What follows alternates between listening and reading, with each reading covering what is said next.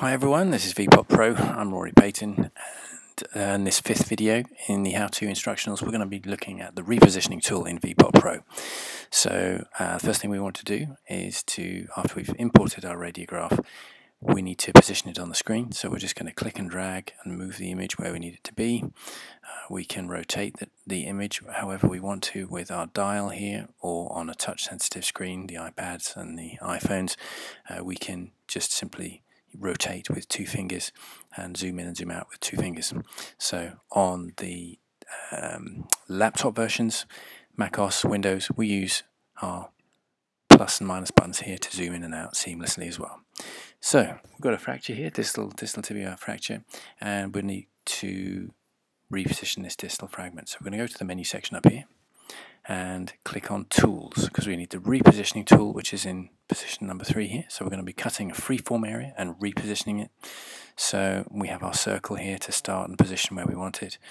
So we'll zoom in for a little bit of accuracy and start drawing.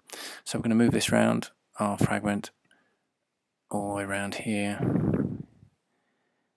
and delineate the fragment and click done. Then we can move the fragment wherever we want to. Anywhere in that circle, the main circle there, you can move it. And then on the rotation arm, you can rotate like so. Align your fragments, and there you go. If you want to reset it at any point, go back to the start, click on that, and here we are again. So we're going to start drawing just as a quick recap. And all the way around here.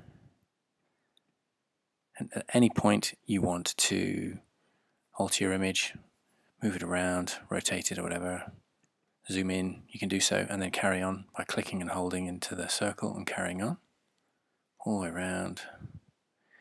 Now, last final tip, if you don't join the, the beginning and the end points together, VPOP will just simply connect the two in a nice straight line. So that's what we'll do here now. We'll click done. And there you go. We've got the freeform fragment. Move it aligned move it to the aligned position just there. And there you have it. VPOPPro.com. Veterinary, preoperative, orthopedic planning, precision planning in the palm of your hand. Download it now at VPOPPro.com. Thank you.